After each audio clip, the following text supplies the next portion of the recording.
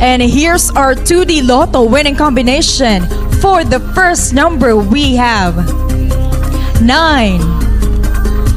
And the second number is 15. Recapping our 2D Lotto winning combination for the 5 p.m. draw, we have 9 and 15 in exact order.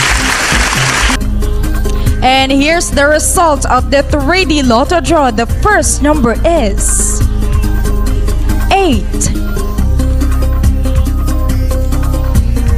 The second number is 0.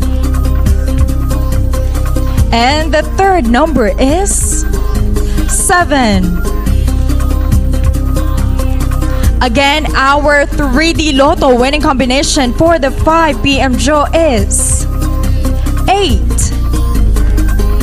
0, and 7 in exact order.